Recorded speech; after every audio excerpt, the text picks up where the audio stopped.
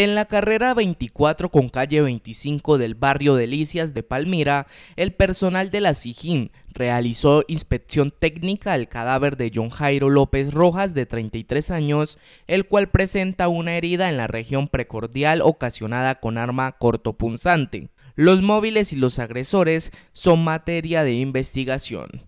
Por otra parte, en esta misma ciudad, en Palmira, más exactamente en la Comuna 4 con carrera 34 y calle 38, barrio Lotero, el personal del CTI realizó la inspección técnica al cadáver de Kenny Jackson Hinojosa Cerezo de 24 años, el cual presenta heridas ocasionadas con arma cortopunzante. Los móviles son materia de investigación.